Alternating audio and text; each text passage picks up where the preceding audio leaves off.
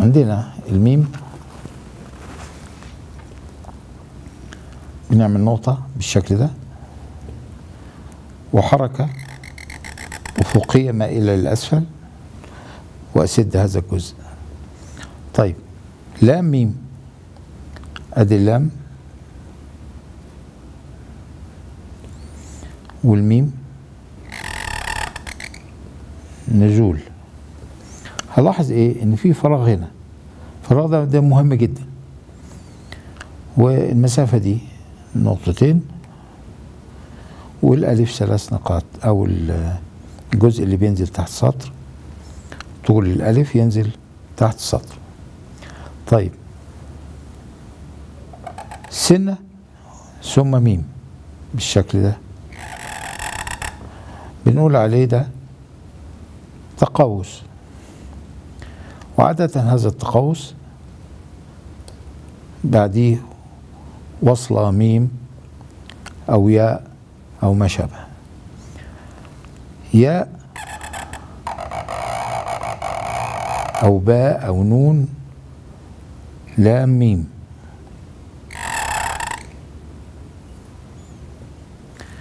طيب ميم. ميم.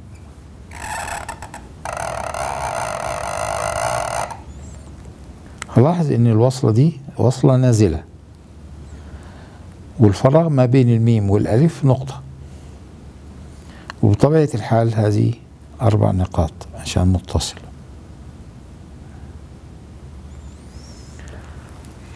هنا جه دور بقى إن إحنا نعمل تطبيقات. هنكتب جملة. من ضبط نفسه فهو لها قائد. ومن قادته نفسه فهو لها عابد. نكتب الجملة دي عشان نتمرن على كل من الحروف السابقة. ادي الميم نون. من؟ ضبط ادي الضاد الوصلة أفقية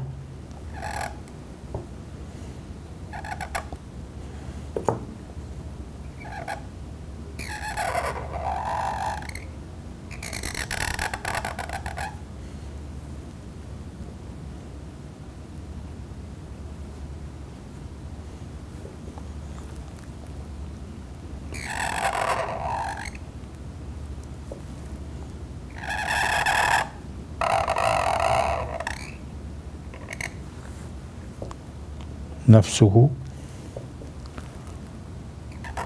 خد بالك من الفاء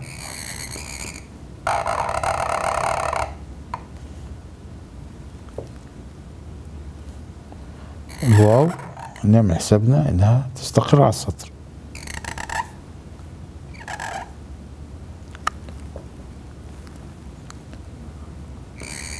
الهاء بتنزل تحت السطر.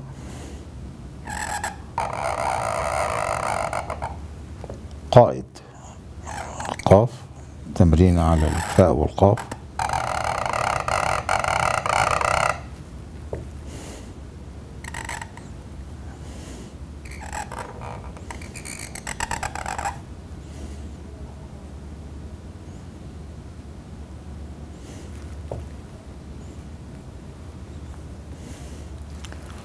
ومن؟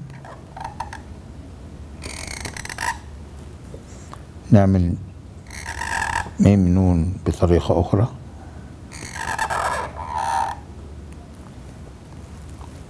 قادته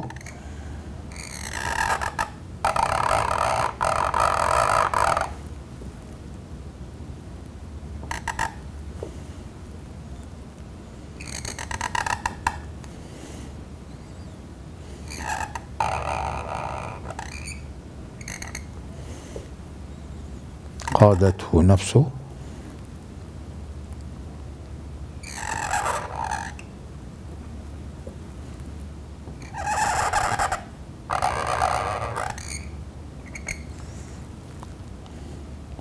هنا ممكن أعمل السين بأسنان. سنة صغيرة وسنة كبيرة. عادي بهذه الطريقة. فهو لها عابد. فاء تاني. الهاء تنزل تحت السطر واعمل حسابي ان الواو تستقر على السطر.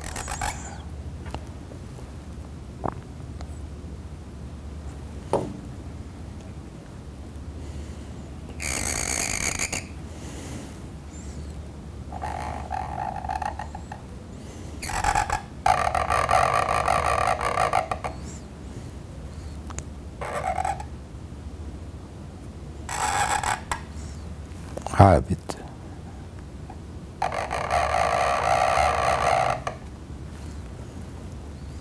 ده ممكن أعملها بالشكل ده.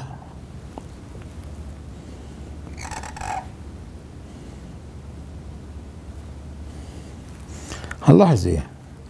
هنلاحظ إن جميع الحركات الأفقية مائله للاسفل قليلا بهذا الاتجاه. آه. أنا بطبق قواعد الكتابه الحين. نفس الحركة الصغيرة دي وهنا برضو كذلك. كل الحركات الأفقية مائلة للأسفل كأننا نزيل منحدر.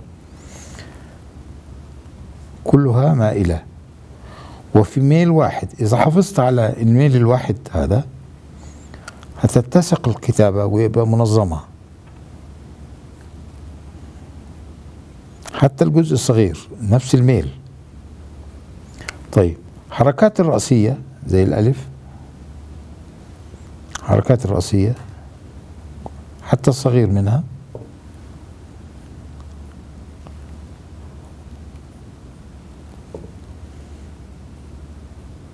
كل الحركات الرأسية حتى الصغير منها. مائلة جهة اليسار قليلا ومتوازية كل الحركات الرأسية متوازية.